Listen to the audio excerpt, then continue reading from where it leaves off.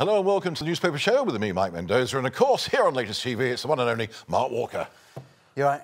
No. All right. He's not coming home. Uh, normally we, we sort of have a bit of a chat about football. Maybe we won't this time. I'm not sure. What do you think? Yeah, well, it's difficult, isn't it? So, um, yeah, it's Very going to be disappointing. Very disappointing. bitter pill to swallow. Yeah, yeah, that's for sure. Uh, There's a bit of Brighton news though, isn't there? Are we losing two players? Possibly. I heard rumour Bissouma Yeah. to Arsenal, and who else are going to go? to Ben White. Ben White. Possibly. Ben White. Yeah, we, we don't. Nothing's been firmed up as as we speak at the moment. No, so. but the Arsenal lot now, now, the, now the championships are over. The you know transfer market we're going to a frenzy because the new season starts in just over a, a month's time. So um, Brighton need to find a striker. I know that much. They certainly need probably uh, several strikers, I would think. But uh, they, they bought a guy from Japan who's not going to play. Yeah. Why, um, we keep buying people who either got Yeah, bad is true. legs, bad arms, bad heads who can't play, or we buy people of a certain age who can't play. So what are we buying players for? And then we sell them or we'll hand them out to other teams. Well, Ridiculous. in the hope that one of them will come really good and they'll be, uh, you know, be able to compete in the Premier League. 'cause it's tough to compete in the Premier League. But you're right, we do keep getting these players which don't make it into the first team. You're right. No, I mean, I mean, a young player.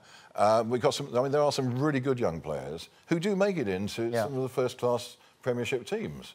Yet we're not playing them. Yeah, exactly. I don't know why. There's nothing wrong being 18 years of age and being able to play. Yeah. Yeah. Amazing. Okay, we're going to look at the newspapers. Of course, we look at uh, both the nationals and local papers. And starting off with the local story, this is a big story, certainly for uh, my side of the, of, Yeah. the, of the area, but probably for everywhere, I think. Everyone was looking forward to IKEA almost as much as football coming home. Uh, and it's not going to happen. The headline in this week's Herald is Plans for new IKEA off the A27 are torn up.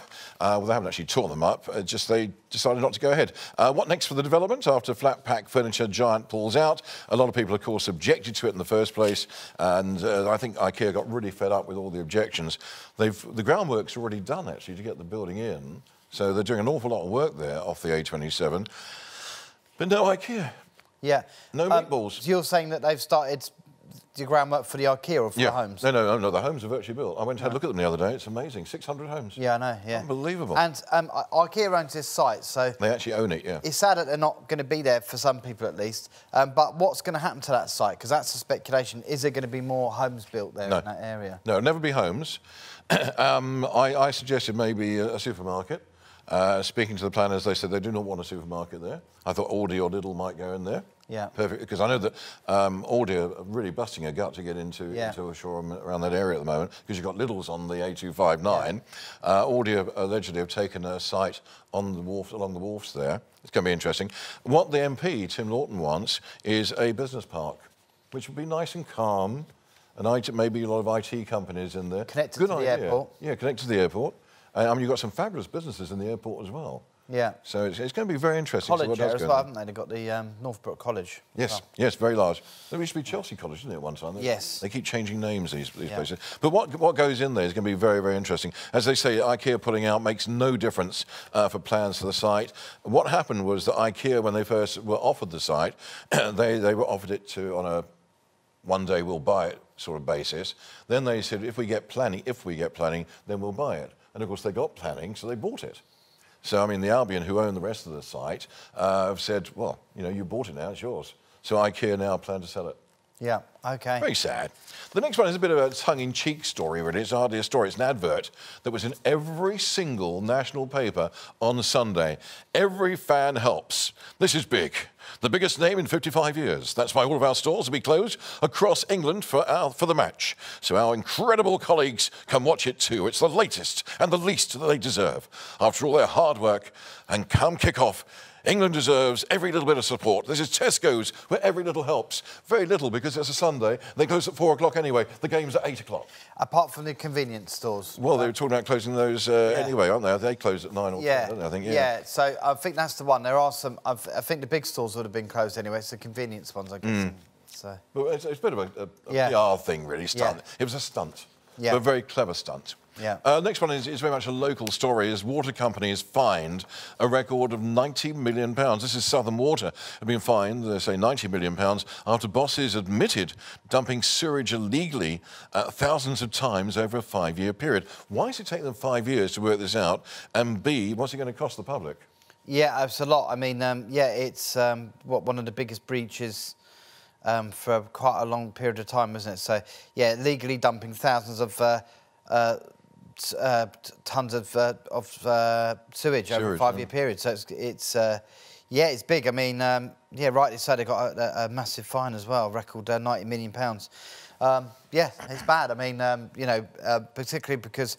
We've got quite good sewage um, treatment works. There's one. Well, in- by the in, marina, they built a big Barnum- one, haven't they? by the marina, and then we got we got a big one up in Peacehaven as well, back at Peacehaven. And a big one in Hove they built. Uh, yeah, and a big one in Hove. So um, yeah, no excuse for it. exactly. really. But so people have been swimming in sewage for the last few years around uh, our coast. Yeah. And I've got to tell you, uh, if, I don't know if you're aware of this, but the you know the houseboats in Shoreham. Yeah.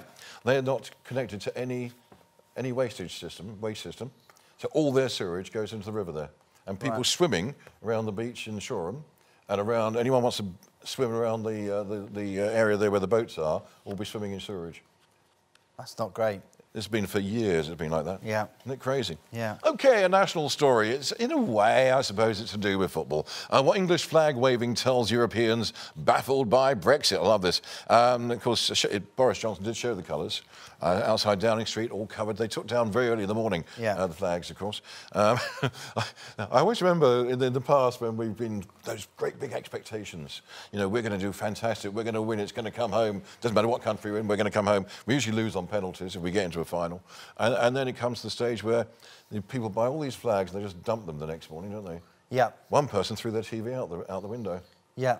Oh, really? Yeah. Right. Anyway, back to the story. Uh, there's a beautiful moral simplicity about sporting contests. Win or lose, in or out, uh, how nice it is that England, which uh, of course voted in 2016 to leave the European Union, had done so well in a competition that's called Euro 2020. And of course, we're also in the, uh, in the uh, Eurovision Song Contest. Why? I thought getting, you know, Brexit would have got us out of that Yeah. rubbish, if nothing else. So after the Brexit vote, uh, the outgoing EU Council President Donald Tusk warned that this country would become a second-rate player. Really? What about his own country, Poland, who didn't even get past the group stages? Uh, or Angela Merkel's Germany and Emmanuel Macron's France, who were eliminated days ago. We stayed until the end. Yeah, exactly. But we still lost. But uh, yeah. Doesn't matter, we Yeah. lost. We still beat Yeah, them. yeah. So, I mean, what does Brexit actually mean? Not a lot to some No, people. no. I mean, we've moved on from that anyway, haven't we? So it's um, yeah. Um, Italy. Well, basically, Italy deserved to win it, didn't they? As we said at the start, they were the better side on the night. Who? Um, Italy. No. Oh, last night they were. No, yeah. the first, the first, the first, First half was England. First half was Yeah. all England. The second Yeah, half we seem to have uh, got to sleep. Lost, yeah. Uh, the I suppose pretty mixed in the in the uh, extra In time. extra time. And then comes to penalties. I can't believe it. Yeah. Um, three in a row missed. Yeah. Right, next Yep. one is a local story, and I think this is so important around, certainly not just locally, uh, but around the country. Village to benefit from second defibrillator. Uh, this is about a new public access defibrillator has been installed in Upper Beeding. Well, I know all over Shoreham, and I'm sure in Brighton as well, defibrillators seem to appear everywhere. Sadly, a lot of vandals get hold of them and they're smashed. Yeah. It's interesting the defibrillator um, argument because you'd think that the government would just install them anyway. I mean, a lot of them are put in. Mm. It's all private. Via, uh, private, um, and you know via charities. But you'd have thought the amount of money we spent on COVID and whatnot and the NHS that you'd have a scheme where you'd just have lots of defibrillators everywhere. So I mean, we need a lot more. And um, yeah, it's good that this village has got the second defibrillator. Really good news um, in Upper uh, Beeding. Yeah, great, great news. Uh, and of course, the importance of defibrillator. We, of course, back to Euros again, how important that was that it was used in that With first the game. Eriksen, yeah, exactly. That was, yeah. that was most important. Yeah. I think we've got time for another story before the break. and this, this is a very sad story. It's about the drowning riddle. Yeah. A swim fan at Eubank. This is Chris Eubank's son, uh, Sebastian, who, who, I, who I knew quite well. I met him a few, quite a few times. A lovely, quiet, well, very respectful young man. Yeah. Uh, sadly died just before his 30th birthday. His body was found on a beach in Dubai. Yeah, yeah, really tragic. Um, yeah, very tragic for Chris Eubank as well, isn't it? I mean, um, and what's sad about it, as you say, is he's so young. You know, just a, um, But he was incredibly fit. yeah, Uh, he was a personal trainer over there in Dubai. Uh, he, I think a month ago he had a baby. Well, he had a baby. His wife had a baby, uh, and they uh, so he had so much to live for. Yeah, Um, there's obviously lots of people saying this happened or that happened, but it's, you know you, you can't say what happened because no one really knows. Uh, but just very, very sad. He was a, a boxer as well. Uh, had four professional fights, which he which he won, and um, I say he's a personal trainer over there in Dubai. Yeah, exactly. Not what Um, you expect. No, exactly. So really hearts- tragic news. Um, yeah. it's obviously tragic for Chris Eubank, and it's um, not being there as well in his last moments. Of course, um, being in Dubai, it's going to be yeah, it's going to be tricky. Yeah, mind you, Uh, Chris lives, I think, a lot of the time in Dubai, doesn't he? Does he? He's got, got a Right. house there, yeah. Right. So uh, obviously our condolences to, to Chris Eubank and, and his family and to, to Karron and her family Yeah. as well. And and uh, we wish them well. A horrible, horrible story. There's Yeah. uh, so much more to talk about now because we're, we're running out of time already. First half is finished, I can't believe it. And we got through a lot of stuff. Yes. Didn't even mention football, did we? No. Did we mention football? No. Okay. Uh, you're watching the newspaper show here on Latest TV with me, Mike Mendoza, and Mark Walker. We'll be back after the break. Don't go away.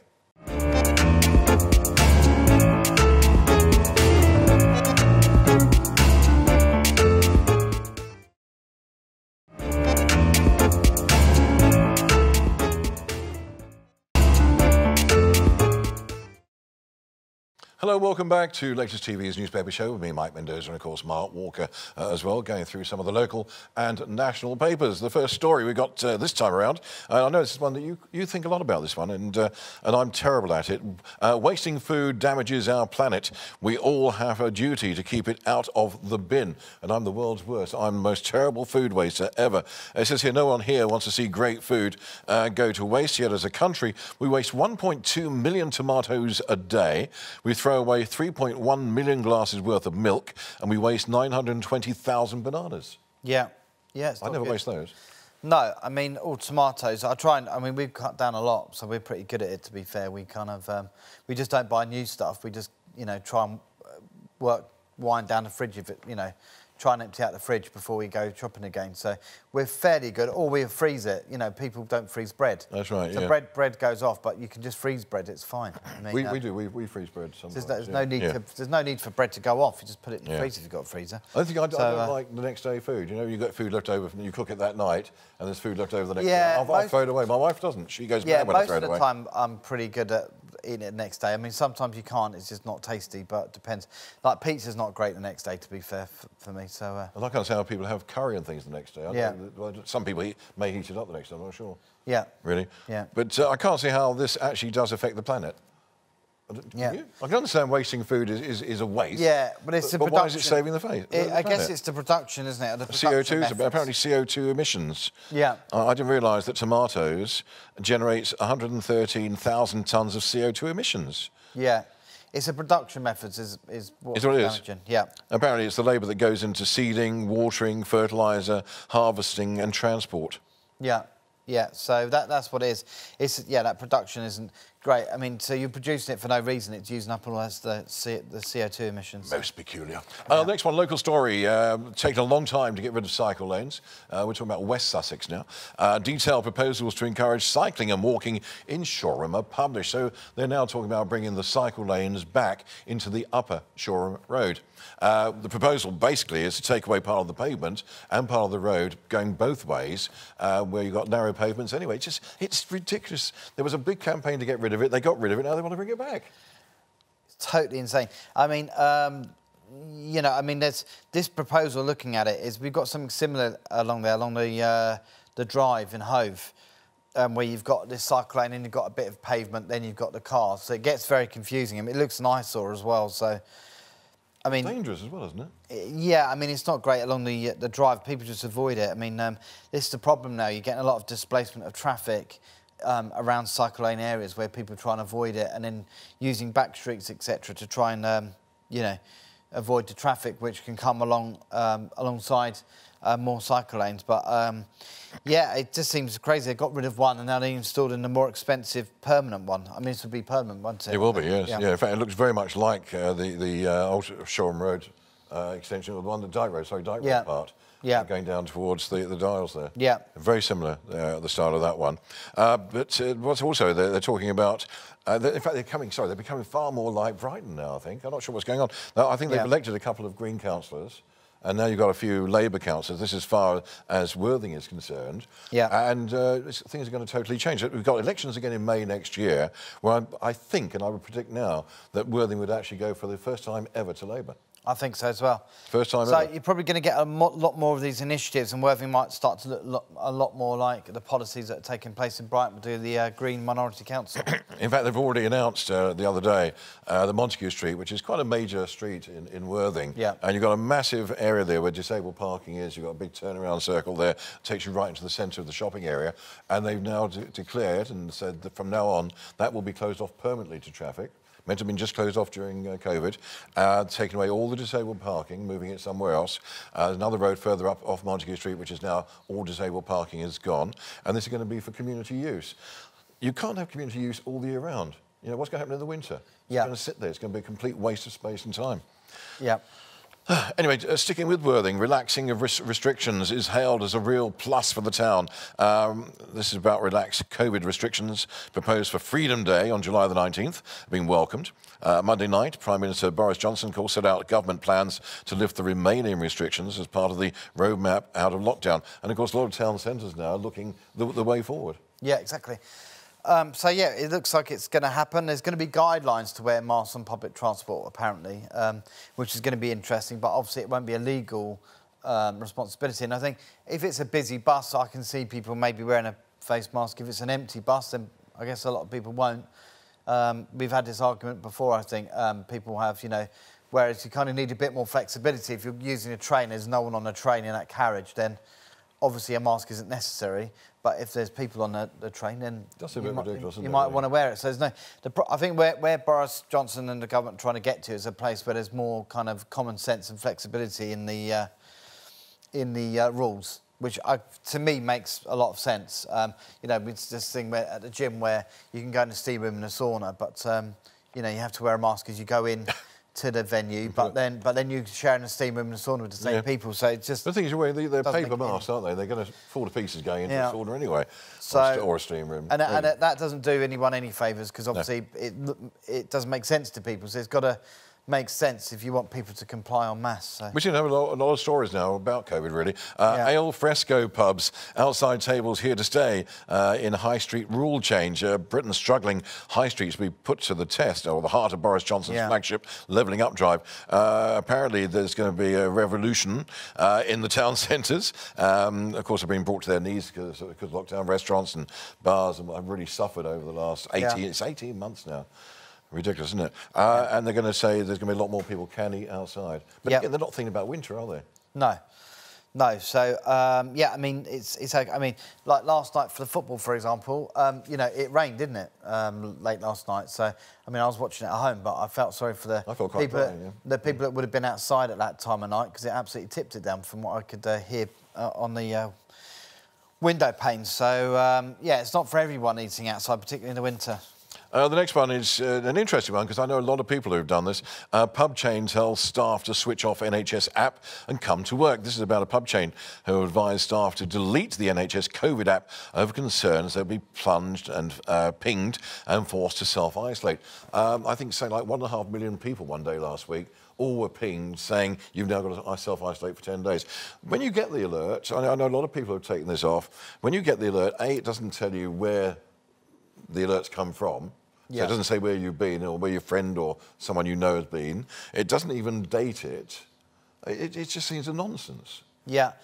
I mean, I think it's going to be reformed for a start. And it, I should say there's two apps. There's one NHS app, which Yeah. is really useful because it, tells, health, uh, it yeah. tells you if you've, you can access your GP surgery for it and, Yeah. and, um, and uh, you can prove that you've been double jabbed. I just use it for the Goodwood Festival of the weekend and it's, uh, you know, so that, that's a lot more handier. I think the track and trace app is going to be reformed anyway um, by the looks of it. We're just waiting for the government announcement on it because it needs to be um, tweaked um, I would say, so that it's kind of fit for purpose and takes into account the, uh, you know, the fact that a lot of people have been double vaccinated. Will they carry on with that, do you think, after, after next week? I think they'll carry on with it they pumped a lot of money into it, but I think it's going to be reformed. It's going to be tweaked.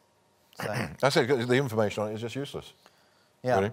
Okay, next story. Let's quickly, we've only got a couple of minutes left. Uh, Labour's plot to axe Freedom Day. This is about the unions, uh, really, um, about uh, using face masks, uh, political weapon to try and wreck Boris Johnson's back to work drive. Uh, union militants have mounted a, a bid to halt the plan to lift all COVID restrictions in eight days. Surely they want COVID restrictions lifted? Um, I'm not. Yeah, probably. I mean, I'm not not sure really. I mean, you know, with the schools, I know there was a lot of reluctance for schools to go back in, and um, so um, it's yeah, it's it's difficult, isn't it? I mean, it is. Um, it does feel a bit like Brexit in the sense that there's kind of lot, you know, 50% want restrictions to continue, 50% probably want them to be lifted. It's uh, it's quite divisive, really, isn't it? I think with the uh, with the COVID restrictions, and not much, not that much um, in between, really. It's either you, you know. It's Interesting survey. I saw, I saw a survey on the weekend that 54% of people said they will continue wearing masks. Yeah, exactly. And I, I, mean, if they want to wear a mask, you know, there's nothing wrong with that, is there? So no. I think it's other people might use them now and again. Some people won't wear them at, at all. So um, yeah, it's down to people's. Um... I walked into the supermarket the other day, forgot to take my mask with me. I walked right. in, I thought it's, it's been like walking into a sauna, isn't it? And everyone's naked and you've got your clothes on. Yeah. It just feels really a bit, bit weird. So, so I had to rush out and go and get my mask out of the car. Yeah. but yeah. you do feel strange. Yeah, and that's a good example. If you forgot your mask, you, you know, from Monday, if you don't have a mask, you don't have to wear it. So, you know, because people do forget them and. Yeah. Um, I know that some, some supermarkets offer them. It's going to be interesting what supermarkets do, Mike, because um, I know Sainsbury's are going to allow you to do what you want. Um, so as for saying, recommending masks, so it's going to be... recommend, I can't force you now, can I? No, I think, really. No. Quickly, let's get another one in before we go. Uh, this is one, you're going to love this one. A statue of Gareth? Yes. Question mark. Uh, I don't know if you're aware, but Gareth uh, Southgate is actually from Crawley, so there's a local yeah. story. And Crawley Council are proposing uh, erecting a statue of Gareth. But maybe yeah. it'd be pulled down in 50 years' time because, you know, 55 years I waited to get a, a yeah. cup and it didn't bring it home. Pull the statue down. Still done a good job, I have to say. I mean, you know, we got we, we made history getting to a final. Yeah, first on final. a statue. Yeah, um, but yeah, it's difficult. It's difficult when you make statues for people that haven't won anything, but um, you know, still had to, yeah, still, he's still been pretty successful manager. We're going to have a statue here at Latest TV and Mark Walker very yeah. soon. Don't worry about it. Uh, Mark, thank you very much indeed for today. Thank you, thank you for watching. This has been the newspaper show with me, Mike Mendoza, and of course Mark Walker. We're back again with another edition very soon. In the meanwhile, you stay safe, be well. See you again. Bye for now. Goodbye.